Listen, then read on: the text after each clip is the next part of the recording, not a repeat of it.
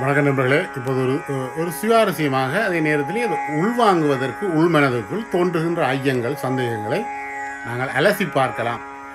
அது- அது- அது ஒரு பொருள்தான் என்கின்ற ஒரு அடிப்படை இருந்தாலும் கண்ணன் கிருஷ்ணன் இது இரண்டையும் வேறு வேறு என்று உள்வாங்குவது அல்லது உற்று நோக்குவது ஒரு தர்மம். ஆனால் இரண்டும் ஒன்று என்று சொல்வது பரபிரம்மம். எனவே அதை விடுவோம். உள்வாங்குகின்ற போது கண்ணன் உபதேசித்தான் என்று வருகிறதா? இல்லை. கண்ணன் கீதை சொன்னான் என்றுதான் சொல்லப்படுகிறது. கிருஷ்ணன் உபதேசித்தான். இந்த தமிழ் இரண்டு பா- இரண்டு பாத்திரங்களிலும் கனமாக துணிக்கின்ற போது எது தமிழுக்கு இயல்புக்குள் வருகிறது என்றுதான் சிந்திக்க போகிறோம். கிருஷ்ணனா கண்ணனா என்பது அல்ல. கண்ணன் சொன்ன கீதை. கிருஷ்ணன் உபதேசம். இதில் எது உள்வாங்கப்படுகிறது மக்கள் மனங்களில் என்று பார்த்தால் கிருஷ்ணனின் உபதேசம் ஒரு தர்ம யுத்தத்தை குருச்சேத்திரத்திலே அது தொடர்வதற்கு மனமாற்றத்திற்கு காரணமாக இருந்தது. அவருடைய மைத்துனர்.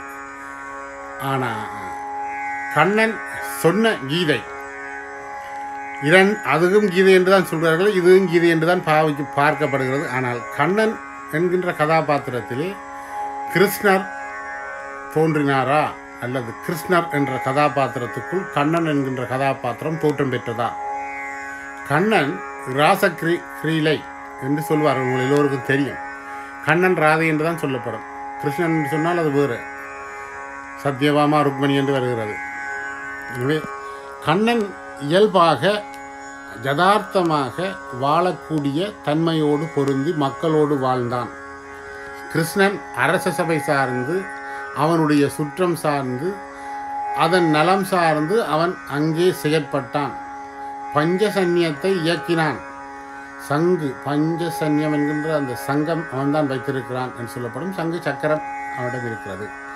கிருஷ்ணனுக்கு கிருஷ்ணனுக்கு சங்கு சக்கரம் இருக்கிறதும் கண்ணனுக்கு இருந்ததா? கண்ணனுக்கு சங்கு சக்கரம் இருக்கிறதா? என்ற கேள்விக்கு பதில் யாரும் சொல்லவில்லை. ஆனால் எல்லாம் ஒரு பொருளை குறிக்கிறது. பல பல விதமாக அது மக்கள் பயன்பாட்டுக்கு மனங்களிலே உபாசிக்கப்பட்டது. உபநய உபநயம் செய்தவர்களினால் உபதேசம் செய்யப்பட்டிருக்கிறது. இன்ன இன்ன இன்ன எல்லாம் இன்னார். இன்ன இன்ன இதுக்கெல்லாம் இன்னார் என்று சொல்லப்பட்டிருக்கிறது. எனவே கிருஷ்ணனும் கண்ணனும் ஒன்று என்று ஏற்றுக்கொண்டாலும் இரண்டு பாத்திரங்களும் மக்கள் மனங்களிலே உள்வந்த உள்நோக்கிய பார்வைக்கு வருகின்ற போது கண்ணன் முதன்மையானவன் என்று நான் நினைத்துக் கொள்கிறேன். ஆனால் காக்குங்கடவுள் விஷ்ணு என்று தான் சொல்லப்பட்டிருக்கிறது. எனவே விஷ்ணு என்ற சொல்லுக்கு என்ன என்பதற்கு எனக்கு தெரியவில்லை. எங்கும் நிறைந்தவர் என்று சொல்வார்கள் மங்களத்தை தருவர் என்று சொல்கிறார்கள் இருந்தாலும் கிருஷ்ண பரமாத்மா கண்ண பரமாத்மா விஷ்ணு பிரான்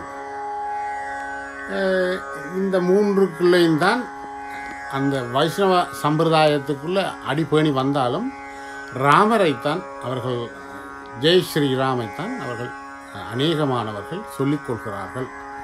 எனவே ராமாயணத்துக்குள்ளே நாங்கள் ஜெய் ஸ்ரீராம் என்று சொல்வதன் மூலம் என்ன செய்து புலப்படும் என்று கேட்டால் ராவண வதம் செய்த பின் அவன் ஜெய் ஸ்ரீராம் வென்றான் என்றுதான் அது சொல்லப்படுகிறது. எனவே கிருஷ்ணாவதாரம் ராமாவதாரம் கண்ணவதாரம் எல்லாம் ஒரு விதத்திலே அழிவுகளை செய்தபின் அவர்களுடைய பெயர்களுக்கு பின்னால் வருகின்ற அந்த சொற்பதங்களும் மக்கள் பயன்பாடுகளுக்கும் பக்குவப்பட்ட மனிதரால் உணர முடியுமே ஒழிய பாமரனால் உணர முடியாது என்கின்ற அந்த வாதம்தான் இப்போது மேலோங்கி இருக்கிறது. அதுதான் தொடர்வது. நன்றி.